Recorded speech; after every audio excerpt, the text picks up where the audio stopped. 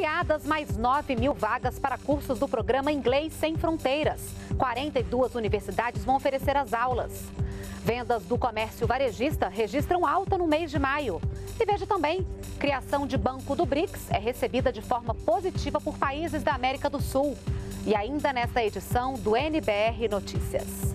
Brasil e Índia fecham acordos nas áreas de defesa, ciência e tecnologia. Hospitais da rede pública vão receber mais recursos para cirurgias. 285 municípios terão reforço financeiro. Pesquisa revela o perfil do turista brasileiro na Copa do Mundo e mostra que a maioria é homem, jovem e tem ensino superior completo. O NBR Notícias começa agora.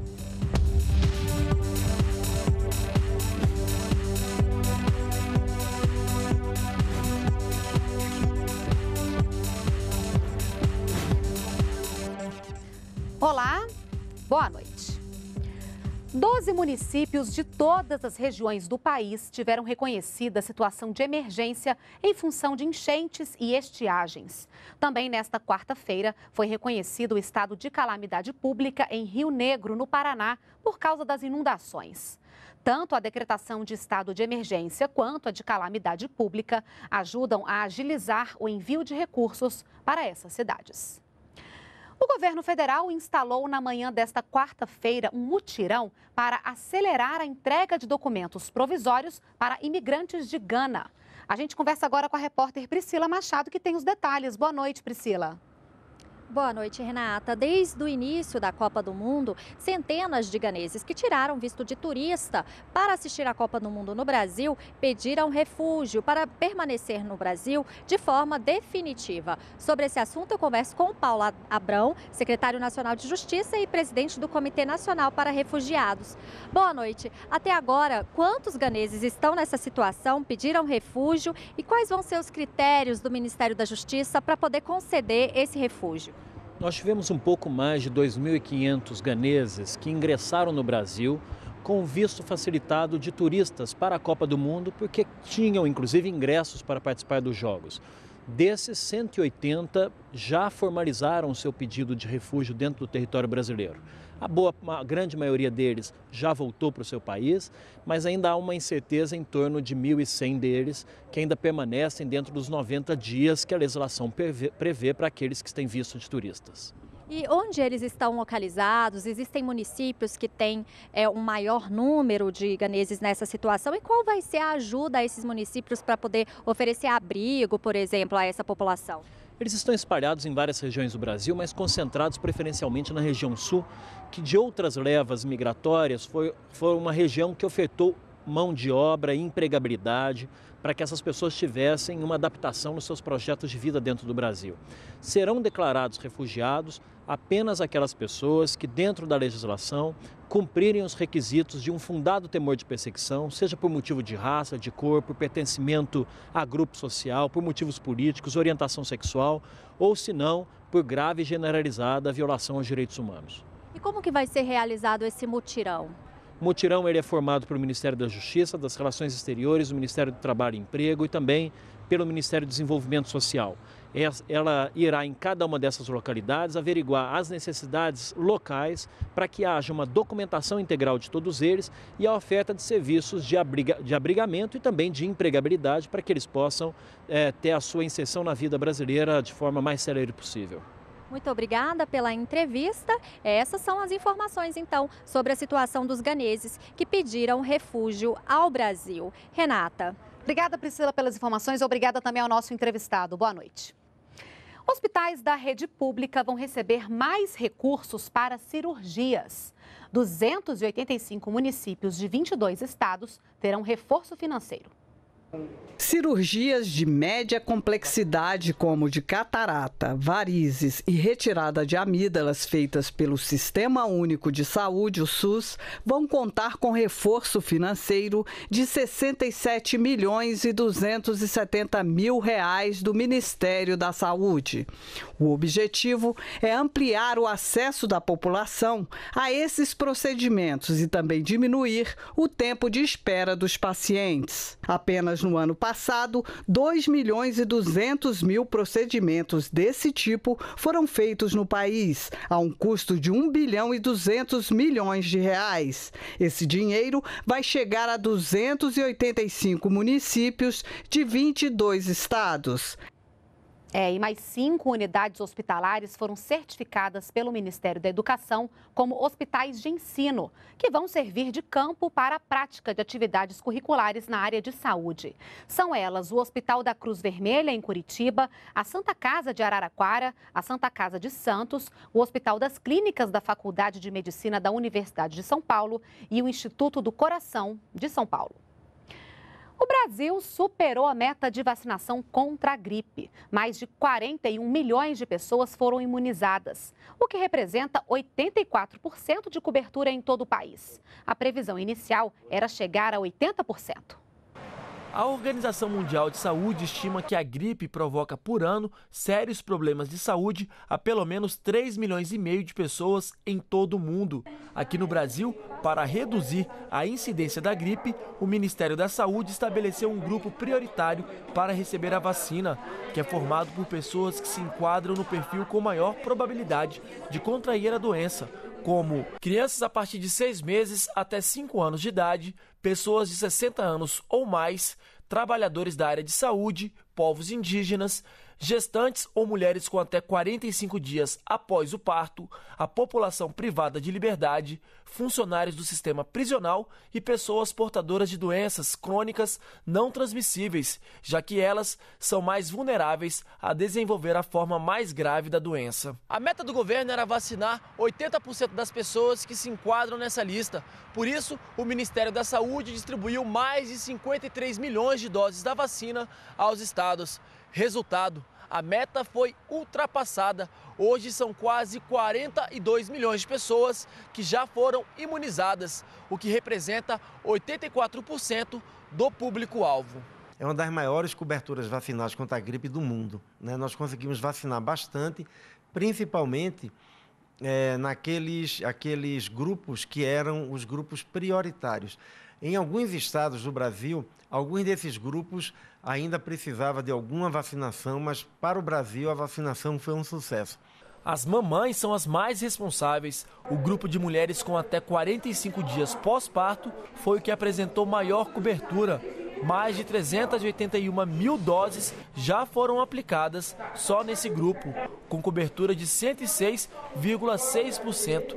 Cristiane Brandão nem esperou o filho nascer, seguiu as orientações do médico e tomou a vacina antes mesmo de dar à luz. Eu já estava no sétimo mês de gravidez, então ele indicou para a proteção do bebê como a minha proteção, né? É, está geração no sétimo mês para ter um parto prematuro. Então, se caso eu estivesse gripado ou com um pequeno resfriado, eu tivesse que ter uma urgência de cesariana, é, na verdade o bebê e eu estaríamos protegidos. Esse médico infectologista lembra que a gripe é uma doença que deve ser levada a sério e que pode até matar, e que a vacina é a melhor forma de não contrair o vírus. Ela é uma doença que pode ter complicações graves e até fatais, principalmente naquele grupo de, naquelas pessoas dos grupos de risco em, em que ela é recomendada. O número de brasileiros em tratamento contra o vírus HIV mais que dobrou. Passou de 165 mil em 2005 para 353 mil em 2013. Os dados são de um relatório divulgado nesta quarta-feira pelo Programa Conjunto das Nações Unidas sobre HIV-AIDS, o UNAIDS. No período analisado, o Brasil aumentou em 32% a testagem para o HIV. A cobertura de exames passou de 28% da população sexualmente ativa em 2005 para 37% em 2013. O relatório também aponta que entre 2005 e 2013 houve um aumento de 11% no número de casos de HIV aqui no Brasil. Para ajudar pessoas a superarem os vícios relacionados ao consumo de crack e outras drogas, uma chamada pública do Programa Federal Crack é Possível Vencer está selecionando comunidades terapêuticas que trabalhem com a recuperação dessas pessoas. Os selecionados vão receber recursos para manter as atividades de acolhimento. Na reportagem de Carolina Becker, você confere como o trabalho dessas comunidades vem ajudando essas pessoas a mudarem de vida. Diogo tem 30 anos e há pelo menos três anos luta contra o vício em drogas e álcool. O mineiro de Monte Alegre está há quatro meses se recuperando do vício e trabalhando em uma comunidade terapêutica em Planaltina, no Distrito Federal. Eu acho que hoje, de fato, é possível sim salvar vidas, né? Basta a pessoa estar disposta e aceitar o tratamento como eu aceitei e muitos aqui estão aceitando. Joaquim é de Teresina, no Piauí. Pedreiro, 33 anos, começou a usar drogas com 18. Perdeu empregos, a família e foi morador de rua. Ele também está tentando deixar o vício na comunidade terapêutica e quer reconstruir a sua vida. Meus planos é retornar para de volta à sociedade, trabalhar, ter uma família, construir um lar e viver bem novamente como Ninguém nasceu usando droga, nem, né? Voltar de novo, esquecer o passado e retornar só ao presente vivendo uma vida feliz. No local, cerca de 100 homens com idades entre 18 e 65 anos têm um objetivo em comum: deixar o álcool e as drogas. E a ajuda vem com a ocupação do tempo. Eles fazem cursos, praticam esportes e recebem tratamento para combater os prejuízos físicos e psicológicos causados pelo vício. Nosso tratamento ele é de no mínimo nove meses, podendo ser estendido a 12. Ele tem três etapas. A primeira etapa é a desintoxicação, a segunda etapa é a adaptação e a reeducação, e a terceira etapa, que é uma das mais importantes, que é a reintegração social. Lugares como esses, que ajudam na recuperação de pessoas com transtornos devido ao uso de drogas e álcool, podem receber ajuda financeira do governo federal. Um edital do Ministério da Justiça vai selecionar e contratar comunidades terapêuticas que oferecem serviços de acolhimento. A meta é chegar a 10 mil vagas oferecidas à população em todo o Brasil. Nós temos hoje contratadas em torno de 7 mil vagas distribuídas por todo o país as comunidades terapêuticas fazem uma abordagem partindo é, do pressuposto de que ela acolhe pessoas em situações semelhantes, em ambiente residencial e buscam tentar reorganizar a vida de pessoas é, que estavam muito desorganizadas até então. As comunidades terapêuticas interessadas em participar da chamada pública têm até o dia 1 de setembro para encaminhar os documentos para habilitação. Mais informações no site do Ministério da Justiça. Hoje foram encerrados os trabalhos da cúpula do BRICS aqui em Brasília. A criação do banco do grupo foi um dos principais temas em debate.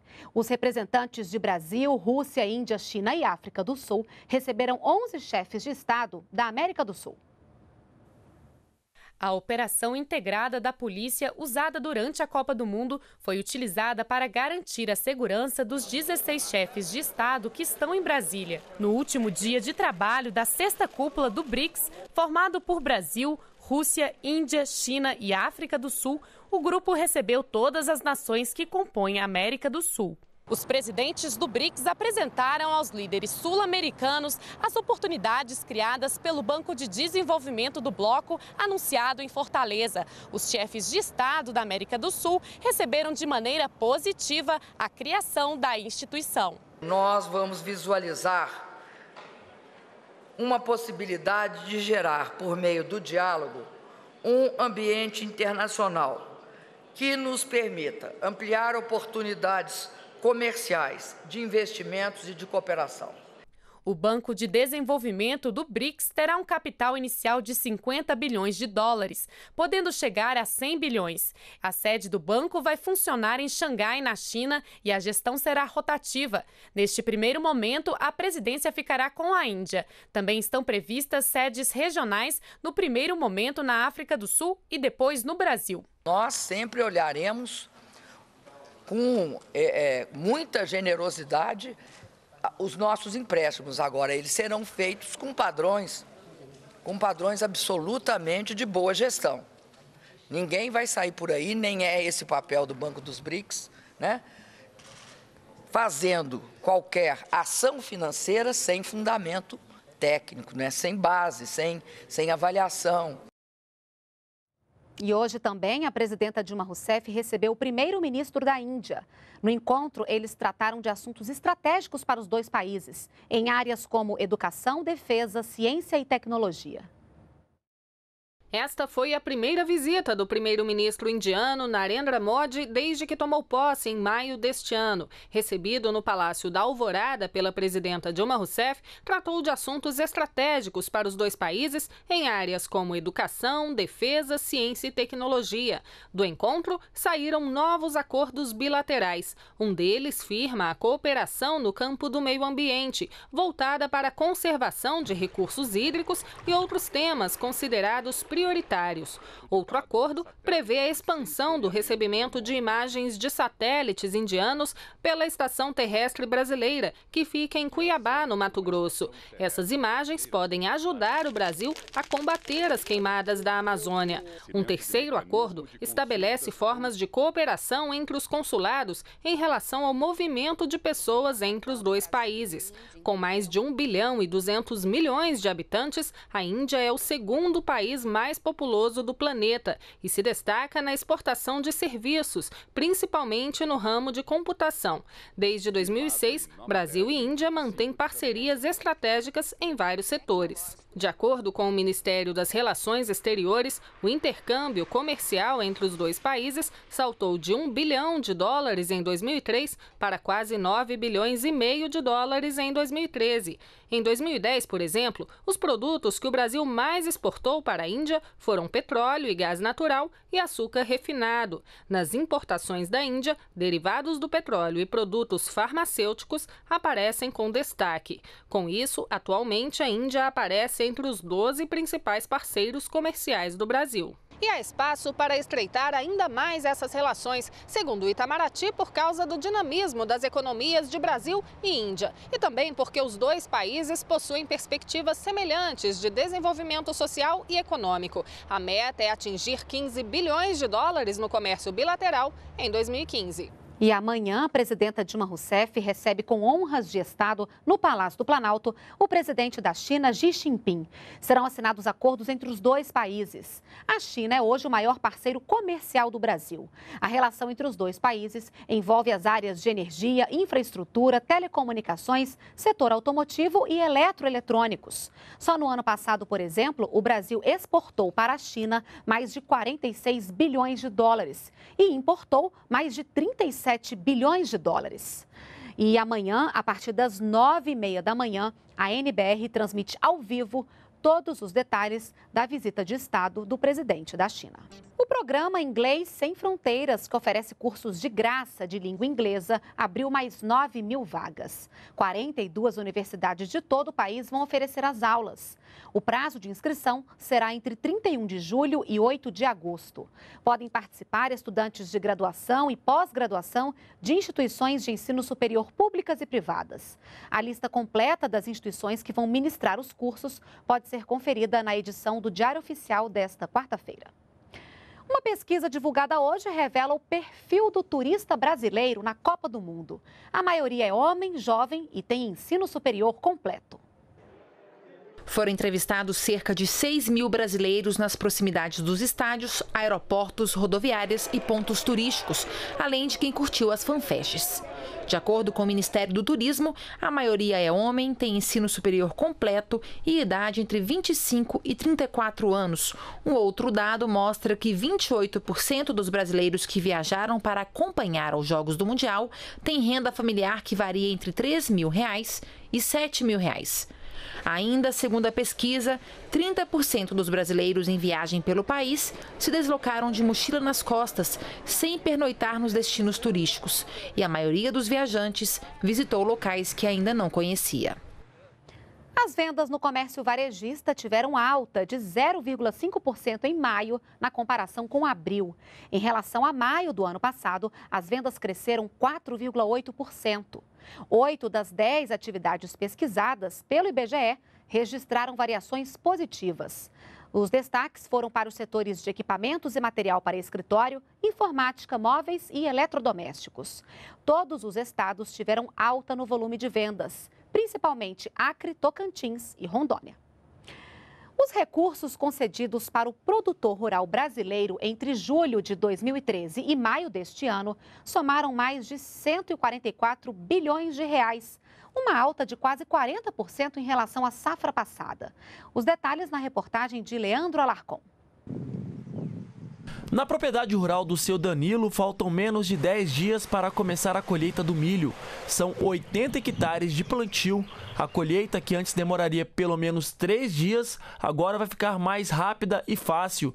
Isso porque ele agora conta com uma colheitadeira. Para poder comprar o equipamento, que custa quase 600 mil reais, o seu Danilo teve que fazer um empréstimo. O financiamento veio por meio do Programa de Apoio ao Médio Produtor Rural, o PRONAMP. Se não tivesse financiamento, eu não poderia comprar essa máquina. Tem muita tecnologia ela. Desde julho do ano passado até maio deste ano, os programas de apoio ao agricultor empresarial já financiaram mais de 144 bilhões de reais. Esse valor é quase 40% superior se comparado ao mesmo período da temporada 2012-2013. O Pronamp é um dos programas de maior destaque para os agricultores de médio porte. Sozinho, ele já aplicou mais de 10 bilhões de reais entre julho de 2013 e maio deste ano, um aumento de 23% em relação à safra 2012-2013. Ele pode tomar recurso para custeio, Uh, o que ele faz com esse recurso no custeio? É para custear a safra, ou seja, são os recursos para poder, para que ele possa comprar os insumos, comprar sementes, comprar fertilizantes, pagar empregados, enfim, todas as despesas, os gastos que ele tem naquele momento para viabilizar uh, o plantio. Outro recurso é o da comercialização. Existe uh, recursos disponíveis para ele para que ele possa estocar esse produto e vendê-lo no momento futuro uh, em condições mais favoráveis. Esta edição do NBR Notícias fica por aqui. Outros detalhes sobre os serviços e as informações do governo federal no Portal Brasil. Para você, uma boa noite e a gente se vê amanhã. Até lá! Continue com a gente aqui na NBR, a TV do Governo Federal.